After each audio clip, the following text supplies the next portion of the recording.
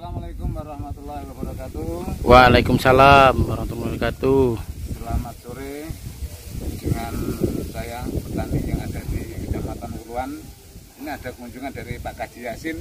Ya, ya. Tepatnya di Kecamatan Tempurjo atau dusun Kraton. Kreton. Ini sedang mengamati tanaman padi Intani 602 atau Sri Dewi. Ini kita hitung anakan padi saat ini usia eh, 30 hari HST. Ya, ya, ya. Tidak 30 Pak ya? 30 HST. Oke. Ini kita hitung anakan. Pak Yasin mohon dihitung. Ya, ya, ya. Monggo Pak Yasin biar pada sore hari ini biar semua mengetahui dan paham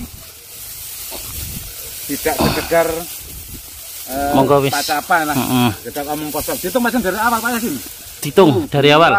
tiga empat lima 6 7 8 9 10 11 12 13 14 15 16 17 18 19 20, 20 21 22 23 24 25 26 27 28 29 30 1 2 4 5 6 7 8 9 10 40 11, 12, 13, 14, 15, 16, 46. 46. 46 ya sini ya? Ya, ya, 46. Ya, 30 HST.